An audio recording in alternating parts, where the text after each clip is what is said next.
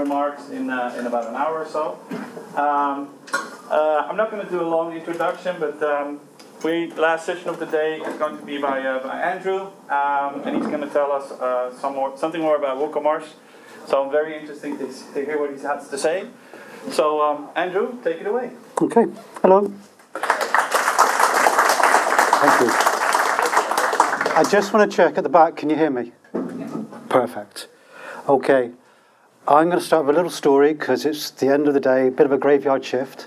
So get some interest going.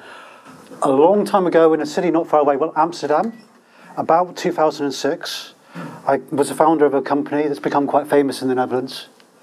That was Pricewise, as we named it at the time, which has become Pricewise. And they make the worst adverts on TV. I'm sure you've seen them if you're Dutch. Well, like most things, when you do a startup, you know, you tend to spend far too much money. Things are taking a really long time, and you don't really have any success. In fact, we started getting a tiny, tiny bit of visitors at the very, very end. When we'd run out of money, we were getting really scared. I mean, really scared. We had over half a million invested. Like, what are we going to do? We were advertising, people were coming to the site, they weren't buying. So, what I persuaded the CEO to do was to make a report. Oh, yeah, there you go. Mountain of cash, taken too long, every project. And the report was really simple. Just compare the energy cost of last time versus this time.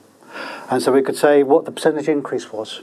Nothing spectacular, not by today's standards with reporting, but it was enough. And we gave it to the Dutch Bureau of Statistics, and they took it to the Tweede Kamer the next day. And they discussed it on the, in the Tweede Kamer. And the next day, you know, the Telegraph put us on the front page because we had made this report, and they were astounded at the price changes. It's not like today where we see price changes all the time. And we went from this much traffic to that much traffic overnight. And it continued because the next day the NRC, they did it, and then the Volkskrant did it, and then and, and so on. And so it's kind of kind of ended up being a consistent run rate. And when we built the servers, when we built the system, we had no idea how much it would take to be able to support that many people. In fact, we never thought we would get 50,000 visitors in a day. It was just beyond our scope of imagination. But luckily, it all hung together and worked really well. We, in that first week, basically covered most of our investment. So what I'm trying to uh, illustrate here is you go viral, shit can happen, and it better work. Luckily, it worked this time. So my name's Andrew Killen. Um, I'm also the lead admin for WordPress Hosting Group on Facebook. So if you want to go and ask questions about hosting, go and search on Facebook. You'll find a group of about 20,000 people, and they'll help you. And I also work for Servebolt. We say that we're the fastest hosting company in the world, but we've also got the stats to prove it. Um, yeah, everybody says they're the fastest. Of course they do. That's marketing for you. But if you want to talk statistics and all the rest of it, then we can prove it. What I do for them is look after all the products that are for our customers. So we've got an optimizer tool that helps to improve the speed and, and stuff of WordPress. We've got also lots of things that work on Cloudflare to do better CDN, better this, better that. So that's my kind of background. Oh, and I've been doing this stuff for the web since 1994. So I've got a little bit of experience. Don't worry, it's all up here. So if you just go to GitHub forward slash Andy Killen, you can find it's one of my pinned repositories. It's got a link to this presentation. It's got a links to all the things I talk about today. It's got other instructions. It's got a spreadsheet. So if you want to play along with what I'm doing, you can do it. Yeah, you don't have to take photos of every slide. It's already there for you. So the facts. To me, this is not boring, but I think there's only two or three major highlights. And I can't use this because, oh, here we go, let's see. No, man. 57% of shoppers will go international. So we're Dutch, we can take people from other countries. They'll do it. Okay, I suspect that's more talking about AliExpress, but hey. Um, shipping is the great, biggest problem, and taxes, that's main taxes, that'll be America. Complicated checkouts, yeah, there are problems. Mobile abandonment for carts is 84%. But none of these really talk about performance. If you want to go and see all of these kind of stats, there's a link that goes to Forbes. They've got a whole article about it. So for me, there's two big stats though, and that's WooCommerce is 29% of the web, and mobile devices aren't really working that well with, with e-commerce right now. So doing things to make that better would be good for everybody. This is what we want. This is our goal. This is where we want to be. So if you're clever, you've already done a bunch of things. These are all that kind of front-end work or standard stuff that you're going to do. So Lighthouse with Chrome, you're going to go and check what's the problem, and you're going to get a report, and you're going to work through each part and fix them. And then you're going to look at the server logs and see what PHP is complaining about. You fix them. Slow logs from MySQL, same, same. And then you check the browser console, make sure you've got no JavaScript errors. You've chosen a lightweight theme, you've got the latest plugins, you're on the latest versions, you've done everything that you think you can do. And this is kind of your standard starting place. Okay, before we go on to what will help, let's talk about what's not necessarily true. People tend to think that PHP memory size will make your website faster. So if you've got more memory to give to PHP, like 500 to half a gigabyte, it'll make it faster. This is not true. It just means it'll be slower when it fails. What's happening is it's going to use up all that memory to try and do the processing before it fails. So in fact, if you can reduce that memory size as much as, as much as possible, it will fail quicker. So in fact, smaller PHP memory is better. It's not always simple to get there because not everybody's code is great. Some people's code is very hungry, and you just need that to make even a good bit of code work. Uh, post revisions make it slower. Well, not really. If you've got a well um, optimized database, it'll be okay. But you should think about it in a sustainability sense. Why say 50 revisions when I only need the last three? So let's just keep it a bit uncluttered. It's not changing performance though. Ajax cart fragments are slower. We don't hear this often anymore, but I still hear sometimes. If you're working with a CDN doing remote edge caching, you definitely need Ajax cart fragments just to make it fast. Yeah, it's very common that people will say the front end and they'll try and fix it there. Eh, we've already covered that. And if it's still slow, it's got to be the server. Redis fixes everything, or Redis if you prefer. Um, it definitely will make the back end slower, uh, faster. It definitely will help in certain places, but not all the time. It's not a panacea. It's not the ultimate goal. It's not the ultimate fix. Oh. And so we begin. We've got a bit of a level set. We want it to go fast. We don't. We're going to ignore the myths, and away we go. So First things first, you want to make sure your database is using the right kind of tables. It probably is, but just make sure. And then also set uh, the right indexes. You're going to need something to deal with the auto load of the options table so that everything that's auto load equals yes is found quicker and loaded quicker. Simple as that. It just reduces the time, and that's for every single time that WordPress loads. And then meta value at the moment, there's an index on meta keys, if I remember rightly, but there isn't one on meta value. So if you have to find all of the prices that are under a certain amount, it's going to take longer if there's not an index on that meta value. So if you want to speed things up, always do that. And yeah, Unix cron is way more reliable than the standard WP cron. The, the one from WordPress, a standard, it needs somebody to come to the website to trigger it. And if no one comes, nothing happens. And sometimes there can be a lot of activity it needs to do when that first visitor comes, maybe after a day, and it's got to do all, all sorts of work. This will really slow it down for the customer. So if you set up the Unix cron, it's very simple, then it will then, every minute or every five minutes, go and check if there's anything new to run, with or without a visitor to the site. And if you want help with these bits, the Optimizer plugin, Servebolt Optimizer, will just do it for you at a push a run. I know it because I made it. Well, actually, I maintain it. Somebody else made that bit. So, if things are going really slow, and you can't work out what plugin it is or whatever, you can use Query Monitor. I can show you Query Monitor very quickly. Hmm. Let's see.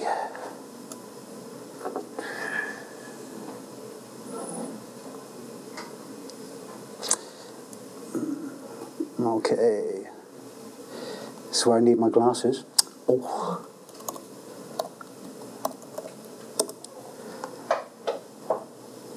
So, as you can see, here's Query Monitor, and what it will do is it will look for everything, and you can see from the timing over here how long it's taking, and it will show all of the bits, and you can focus in on whatever plugin you want, or whatever part. So if I look at WooCommerce, I can see which bits are taking longer.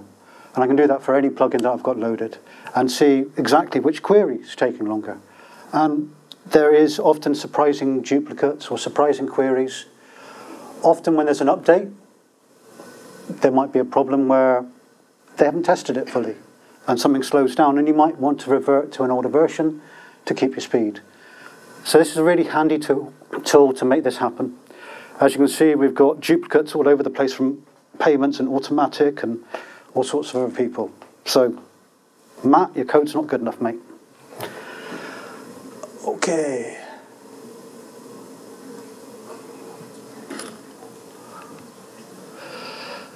So yeah, taxonomies. It's really easy in WooCommerce to forget to use taxonomies to set values or attributes to the singular product rather than thinking of a group of products. It's just like, oh, I have a pair of shoes I'm selling and they're size 42 and I just put that one number against that pair of shoes. But really what I should have is a whole taxonomy for shoes. So, for example, with shoes, maybe I want the brand, maybe the material that's made with, the sole, target group, like male, female, unisex, children, whatever. And so it would be much easier to work out, give me all of the Nike shoes for men that have leather, would be free taxonomies that I check to see if something is existing in all three of those rather than looking at all of the data and going, oh, is there something with this and with that and the other thing?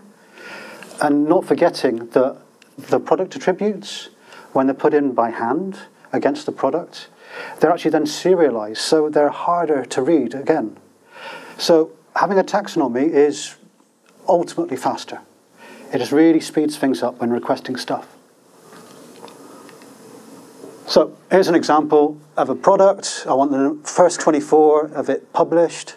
Its relationship is and, so it must be in both of these. So it's in Nike and men, and will show me the results of that.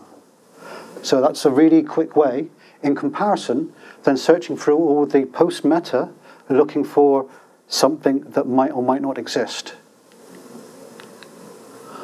Okay, next step. It's a good idea to let other things do the work, to offload some of the effort so that your, your system is focused on making sales. Because that's what you want, you want money.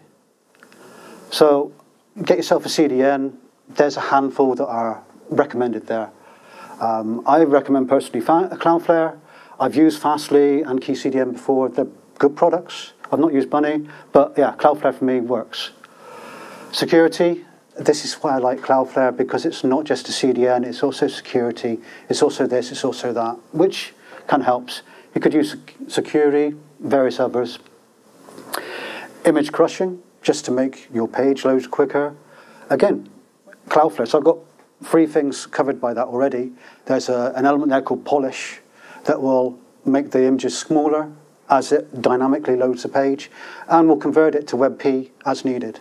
So you don't have to think about those kind of things. So it reduces your problems. Uh, resizing, oh my God, Cloudflare again. You can resize onli uh, online as you're sending the um, page to the client and make all of the thumbnails, make all of the other bits without actually having to create those images on your server. So that can really speed things up. Yeah, image stores, you can store stuff outside of your server where this is really incredibly handy is if you're planning to move from one host to another and you've got like 100 gigabytes of images, If they're already somewhere else, you can just focus on the code base and the database for the migration and not have to worry about this mountain of images that you're going to have to deal with. And they just stay in the same place and you get no disruption of service at all. Uh, product feeds. Uh, I really like a product here in the Netherlands called Product Flow. Uh, ironically, it's made by a friend, a former colleague of mine, but what it's nice about it is it connects via the JSON API, checks what you need, uh, what it needs, and then it will put it straight into Blocker. We'll put it straight into uh, Bol.com, all of those other names that you know in the Netherlands, plus everyone's ones like the feeds into Google, feeds into Facebook, all those kind of multinational ones. And uh, yeah, it's a very simple product, and it costs literally no power on your machine because it's not doing it there, it's doing it elsewhere. Yeah, well, you're not going to video host on your own machine, I hope. And search. Uh, Elasticsearch is possibly the best one for e-commerce, but Algolia will also do e-commerce quite nicely, and they will host it for you. And you can make incredibly fast home pages which have uh, kind of user-generated, user um, you know, uh, metrics generated content. So somebody comes from your, to your site, you could look maybe which country they're from, and then deliver something else based on the search that you make to Elastic and create a different home page. That can be very fast and very useful. And all of these things do stuff without it happening on the server. So your server is focused on product sales and nothing else. Okay, so one of the biggest problems I see from talking to people is they'll use something like um, All-in-One Import Pro, and they'll add all of their products using it, great. And then they'll try and use it to update the products, pricing, uh, stock values, all sorts of other stuff. And this can take several hours. Um, I did it once with a friend. They had a vidaXL, sorry, vidaXL um, uh, feed. There were 70,000 products. And it took six and a half hours to go through all of the products, which was a bit slow. So I worked it out with them how it worked. And basically downloaded the, well, it's XML from them, but I could use JSON or CSV. Downloaded that using cron on an hourly basis. So that is faster than doing in PHP because Unix doesn't have that extra overhead. And then I'd start to process the updates a little bit later. So give it enough time to download the, the thing. So this could take, I don't know, two seconds, but give it a little bit of time. And then select from the database the information I want to check. In this case, I'm going to use the price as my example. So select all of the products I have and get every SKU, because that should be unique, every post ID, so it's in the post table, and the price. So there we go. That's my re result that I want to have. So post ID 5 is ABC123, blah, blah, blah. And then I get the contents from the feed and set it up with an array where the SKU becomes the key. And that means I can really quickly see if that SKU exists in the feed. I don't have to go and look through the whole feed each time or run an expensive query each time. The data's been processed to make it really accessible. So I can go, okay, if this SKU exists and the data, the price has changed, then I'm going to apply the change using update post meta. So that going, went from six hours to about 12 minutes. I think today with the current processing, this would take more like 30 seconds, if not a little bit less, for 70,000 records. And the database that they had, they had a little over 10,000 products that they were using. So there's 10,000 SKUs in a nice little array, and then I loop through them all. I have, from that um, Git repo, there's a link to a, a gist example of how to do this, so you can go and grab the code, do it yourself. So yeah, this can take away immeasurable amounts of time, and also processing. If your server is really busy doing something else, then it can't be selling product for you. Okay, anybody who's done a computer studies degree would know this. There's two really hard things in computer science, cache invalidation and naming things. If you ever tried naming a website, that'd be one. Okay, so there's a bunch of events that happen on your website that cause cache invalidation or purging. And we've decided we're going to have a CDN, so we want to update the CDN every time there's a change. So it's not CRUD because we're not reading, it's just create, update, and delete. Every time that's happening, we need to tell the CDN, hey, this is gone, this has changed.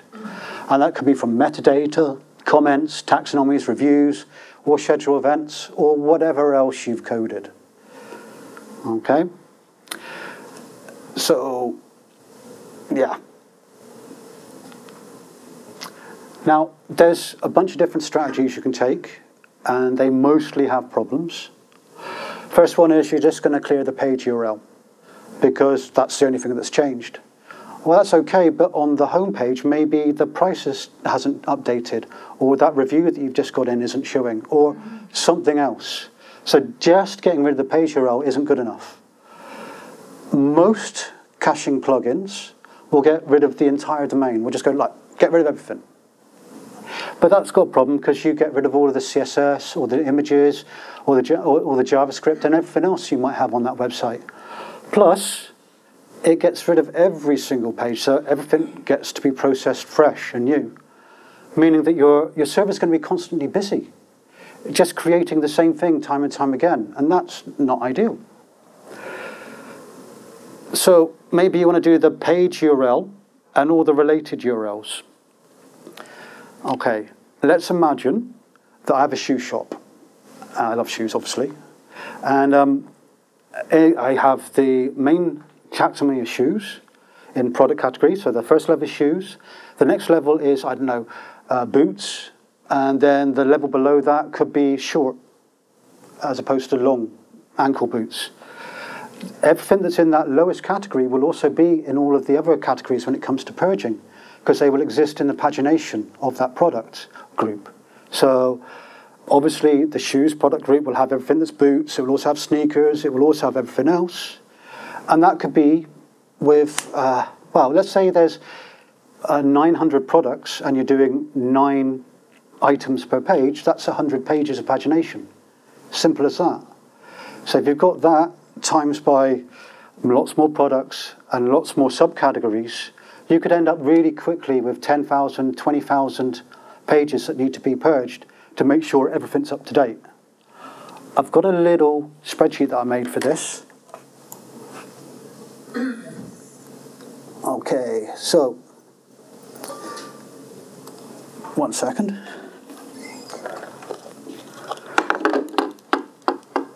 So let's imagine I've got a thousand products and I've got nine products per page and I just use two taxonomies that are public. So that's a pay, category page and the tag page. And let's imagine that I'm just putting six tags on each product. I'm going to end up with um, approximately yeah, 34 uh, seconds of uh, purging for only the HTML. Now that's if I'm purging 30 items per time, which is what Cloudflare allows. If I was only purging one URL per time, that would take 17 minutes just to purge that many products. And that's not what you want. You want your products to be instantly updated. So the answer to this, in fact, is a thing called cache tags, which is slightly different in the way that it works.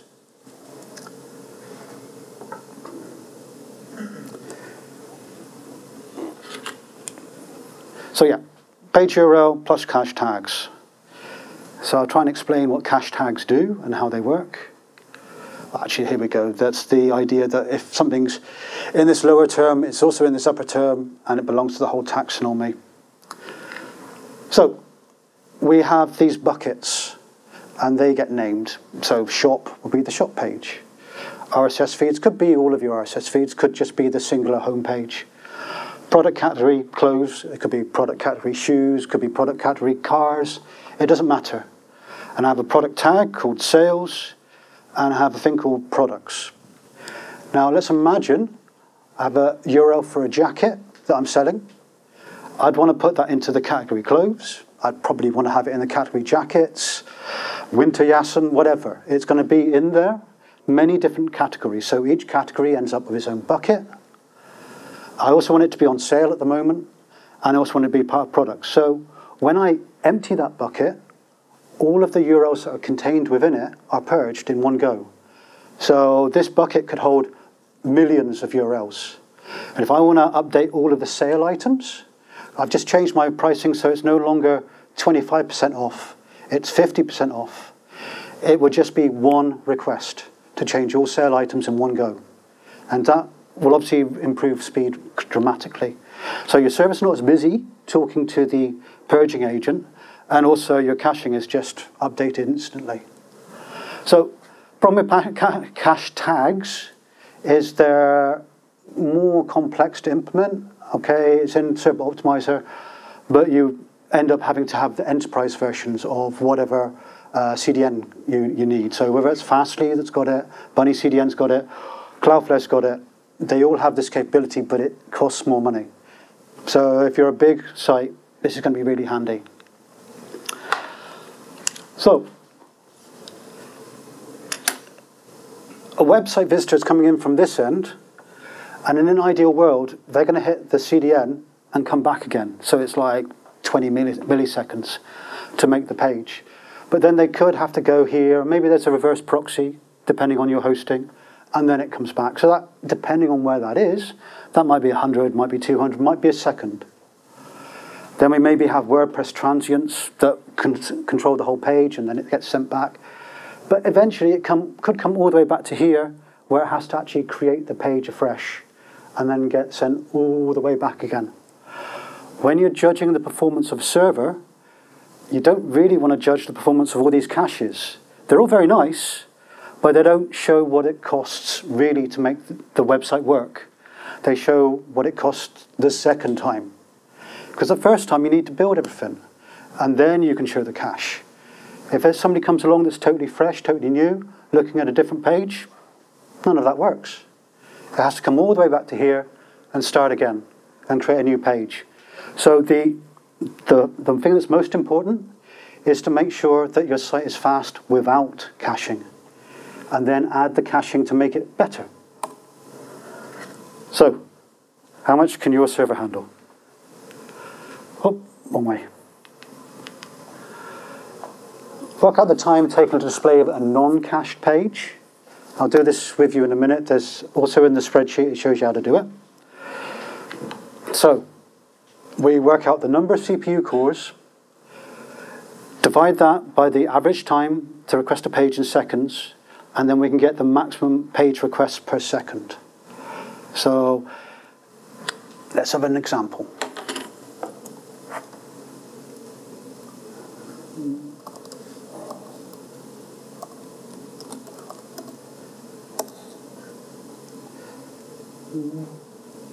Okay. On my server, you can probably just see I've got 64 cores. It's just a test server, it's an old thing, but I've got 64 cores. So it's slightly more uh, capable than most VPSs that people buy. And if I plug these, this data into the spreadsheet, I'll do it in milliseconds. I've got it in seconds or milliseconds for your advantage. And so I have, oh, there it is, 64 cores. Now I'll test the site that it is. So, ACD. And notice I put something. Doesn't matter what it is, it's a thing. What that's doing is just saying make a new page because no one's ever been to this exact URL before. So I can look at the page and away we go. And, oh, network. I'll just change that a little bit so we can look at the. Uh, okay. So on the HTML page, if I look at timing, I can see it's gone, wow, that's really, really slow today. It could be that it's going to be faster the next time, so I'll try again. Because you want your aggregated score.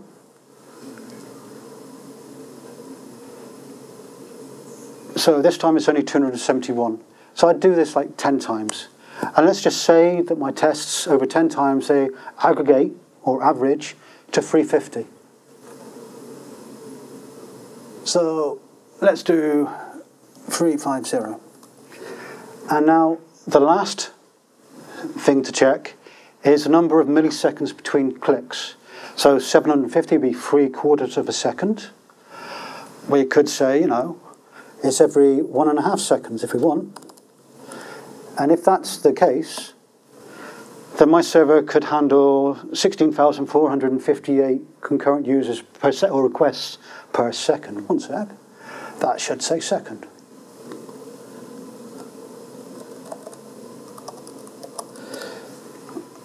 But if I only had two cores, I could only handle about 515 user, uh, uh, max users per second, or max requests per second. So looking at this, you can kind of gauge how many times people come to my website and what I really need to buy. And um, for those that are thinking about VPSs, don't forget it's also a shared server. There will be other people on that same processor that might every now and then take a little bit more processing than you have. So it's it can be uh, problematic if you're looking to have like really performant systems. Obviously, if we were a slightly slower website, I've got some examples here. So, for example, Fluffy. I, I looked up um, Netherlands-based WooCommerce sites last night, and somehow this is in the Netherlands. So again, I'll check it, and I'll do it two times just to get a bit of an average. So 720.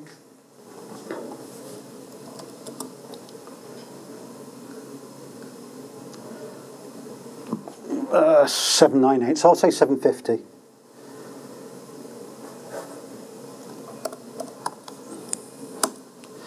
So if he had a mad rush, I'd only two processors. Let's give him a bit more. Let's give him 16. If he had a mad rush, he was opening a new concert tomorrow, and people were desperately trying to buy the stuff, it would fail if 2,000 people in a second tried to do something. It's just as simple as that. It's a very simple mathematical equation that we've been using for years, and you can use it also. It's uh, just the way it is. And like I say, the spreadsheet's here. You can get it from the repo.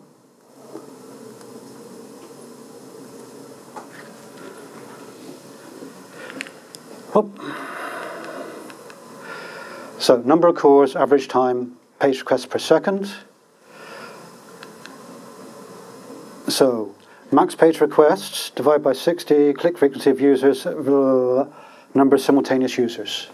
So I've actually put both of these into just the one spreadsheet rather than splitting them up. You can go and look at the maths, but it's all there to do both of these stages in one go. So yeah, if you're going to do a concert, get a load of cores. As I said, don't cheat, do cache busting, and don't do it in anything but incognito because your stuff on your PC might skew the results. Oh no, Cookies, the killer of performance. Let's see if we can get a little bit forward. So, one of the problems that this website from Fluffy has is that every single uh, page loads, I won't show it, it's uh, every single page loads a new cookie, HTML cookie, sorry, HTTP cookie, that checks the uh, GDPR status, which is just ridiculous because you cannot edge cache anything that's got a cookie being set in it. So it has to wait for a future time when there's no cookies being set before it can cache that page. So keep an eye on cookies and anything that's being set up all the time. Uh, a classic example that breaks caching is when I go from one category to another, it updates a list of categories I've visited as a cookie. That can really kill your caching. Okay, scale up or scale out. Vertical versus horizontal scaling. Um, scale up is pretty painless. Scale out or vertical, more systems put together. It's a whole world of problems. Uh, this is what I used to run. So I had a load balancer a number of web servers. We had something to do with session management, an NFS drive, an object store, which was Memcache, and then a database cluster. And just the effort of getting other developers to understand this was massive. And simple little things like you want to update a plugin. If you update the plugin and you happen to be on this server, it's not updated on that server. So you have to then start doing definitely Git deployment, CI CD. You have to push things simultaneously. You have to do all sorts of extra stuff that is just impossibly hard for a lot of people. So my honest advice, don't scale out. It's just painful. You can, but just expect problems, ones that you have never seen before. Because until you start working at scale, yeah. So what hosting should I choose? I try to make a simple flowchart. Do I want to be responsible? No, I do not. I don't want to have any responsibility for my hosting. I want somebody else to be responsible. When it breaks, I want them to rush around fixing it. When there's a problem, I want them to be doing everything. I, I don't want to have to think about it. I want to be able to sleep at night and not be waiting for my you know, mobile phone to go off. But other people, they want to be responsible because they feel that owning something, very common with agencies, they think, yeah, we can have our own server. But do you want to be responsible for the support and maintenance? If you do, then consider buying your own stuff. It's on your own back. I wouldn't do it, but you might want to. If you're an agency and you've got enough people, do it. What I would choose if I wanted to make some money is an affiliate program or a partner program, especially as an agency, because then I can give all the effort to somebody else and make extra money. So that's my advice is how hard do you want things to be for yourself? I take the easy route because I want, I want to make my money doing other stuff rather than worrying about computers. Well, how much should I spend? Yeah, I've talked to a number of hosting companies and uh, CEOs over the years, and we also got this kind of like, well, 2%. I mean, that's not much. Let's think about it this way. If you were earning a thousand a month on your website, 2%, 20 euros. Is that a month? No, that's nothing. That's a good place to start. If you're earning a million a month, 20,000 on your hosting isn't actually a bad idea. You have something that's more complex, more capable, more supportable. And honestly, no one ever said, I really regret buying that expensive hosting with that really caring company. So, golden rules. Focus on throughput. This is especially true for WooCommerce how fast the database is, how fast PHP is, and how fast the networking is. Getting in there, getting out again. Host it as close as you can to where your people are. So if you're in the Netherlands, people in the Netherlands, don't host it in America. yeah, buy from someone that's easy to contact. This is something I've learned. It doesn't matter how much you pay, they can still ignore you. So get with somebody that you have a good working relationship with. And uh, do your due diligence, especially go through the contract. If you're not good at finance, get a friend to come and help you. It's better to go and look for it four times before you sign up and know what's coming in the next thing. Because some of the hosting companies do a massive increase on, re- on the, the renewals, like 3x cost on renewals. So check what you're getting into. Okay, there is a new thing for WooCommerce. It's been around for about a year. High performance order storage, and it's this. Everything used to be stored in post meta and WP post. So as a new order, it would take add a new post for the order and then add the details in post meta. Well, that's really stupid. And so they've taken it to literally high school level database management, what you get taught. Split things up, have addresses in one thing. It's obviously faster. It's what you got taught. This was not what you got taught in school, but it's the way that it got set up. If you're going to do it, and it's very simple, make sure you do a backup first, because it's going to try and resync everything from the old orders into this new system. And, you know, do it at night when there's not many customers. Do some testing, that kind of stuff. Okay, my opinions. These are just opinions on the future of uh, WooCommerce. It's going to be Gutenberg ready soon there will be more database expansion, just like you've seen there. taking things and setting them apart so they're better set up. Um, there'll be very easily adaptable REST output. If you look at the REST output of products right now, it's incredibly verbose and very large. So the benefits of going headless might be outweighed by the cost of the data. And yeah, headless WooCommerce is going to happen. It's not there yet, but it will happen. Okay, next generation performance testing. I'm going to quickly get this in before the end. See, this was the uh, testing that came out last week, WP hosting benchmarks. And it tested PHP, and yes, that's us there being fastest. Thank you. And um, yes, that's us there being, being fastest again. But I'm going to be the first one to be honest. The tests aren't good. We might have won it, but we didn't win because we were better than everybody else. Yeah, we were. But the point is, the tests, they don't even check the database. They just do like, for example, it writes a, li a line to the a row to the database and then deletes it straight away afterwards. It might not even get to the disk. It might still be in the cache. It's not a good test. It uh, doesn't test for WooCommerce an actual purchase.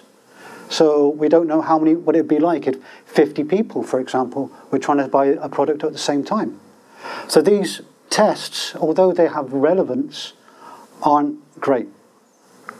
So what I'm doing, and I'm announcing this right now, is I'm making a new set of uh, WordPress, sorry, WooCommerce hosting testing. I've already spoken to a lot of the CEOs of uh, hosting companies because I know them from the WordPress hosting group, and they're going to come along and be part of this. And I'm looking for WooCommerce experts who wants to come and join. I have one, where has he gone? Where's Martin? Have one in the back there who's already agreed, and members for the supervisory board. So these guys for supervisory board, if you wish to be one, it's not that you're a hosting person or an expert at WooCommerce. It's that you're going to be there saying, oh, yeah, I understand. This is a good, good test of why aren't we testing this? Why aren't we testing that? If you would like to be part of it, come and let me know. It's going to be much more stringent and much harder. Okay, that's the end of my talk. Uh, any questions?